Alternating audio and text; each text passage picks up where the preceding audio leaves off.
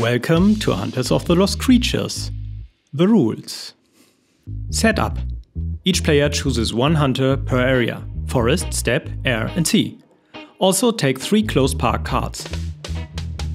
Place the hunting area cards. Make four piles with the hunting areas, including the thieves. Don't mind the different backside. Randomly add a catapult or tornado to each of the four piles.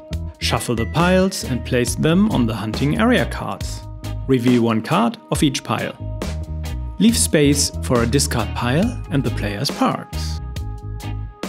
Gameplay The game is played simultaneously. Secretly choose your hunter. All players reveal at the same time. You get the creature that matches your hunter, unless another player has sent a hunter to the same hunting area. Then they make too much noise and no one gets the creature. If you caught a creature, place it openly in any open park, usually yours. Put a new card in the empty spot. If all players play a hunter of the same area, it is scared away to the discard pile.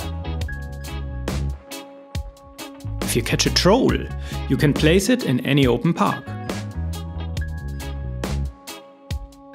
Special cards with a white border can only be used once. You get them the same way you get creatures, but take them in your hand and play them instead of a hunter. Thieves. With the thief, you can steal a creature from another player's open park. The creature has to match the area of the thief. Tornado. Exchange any two creatures from any player's open parks. Catapult.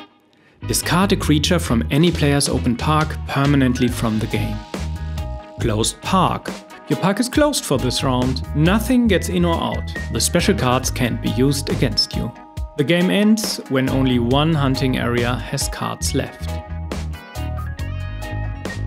Scoring. Every complete combo of 1, 2 and 3 of the same area scores 10 points. Every complete combo of 0, 1, 2, 3, 10 scores 30 points.